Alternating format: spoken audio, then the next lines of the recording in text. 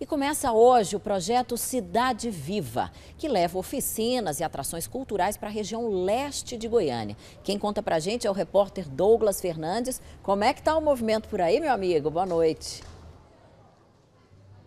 Boa noite, Fê. Boa noite, PH. Boa noite para o pessoal de casa. Olha, os nossos convidados já estão chegando aqui nessa festa que é cheia de muitas luzes coloridas, porque é um projeto muito bacana, Fernanda, porque está levando muita cultura, está levando oficinas para as pessoas de todas as regiões aqui da nossa capital, as pessoas mais carentes que não têm aquela oportunidade de ter acesso a todas essas coisas. A Jandira, Janira está aqui com a gente, que é a coordenadora do Cidade Viva.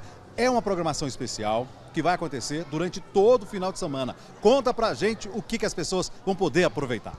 Uma programação incrível de arte, de cultura popular, de educação e cidadania que vai decorrer aqui na quadra da Vila Pedroso, na zona leste de Goiânia. O nosso projeto ele é um projeto de circulação de artistas, fazedores de cultura, é um projeto de participação popular e também de atendimento em cidadania. Conta a programação pra gente.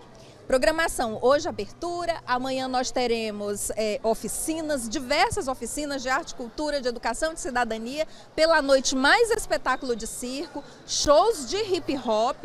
No domingo teremos encontro de mulheres para celebrar o 8 de março, para fazer também o enfrentamento à violência de gênero.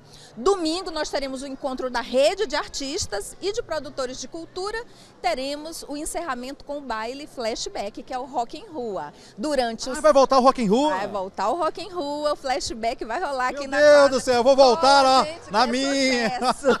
Cola que é sucesso. E sábado e domingo o dia todo, na quadra da Escola Juvenal Pedroso, atendimento da Defensoria Pública do Estado, com atendimento na área de família. DNA, certidão de nascimento, é, diversos, divórcio. Eu vou convidar você então, porque agora nós vamos invadir o bastidor do Circo Larretô. Vem aqui com a gente, porque hoje é dia de espetáculo e o pessoal está todo aqui já organizando para poder entrar em cena, inclusive. Olá pessoal, tudo bem? Tá tudo preparado já? Sim! Tá tudo preparado? Como é que fica a ansiedade para poder participar desse projeto e encarar o pessoal que está lá fora esperando vocês?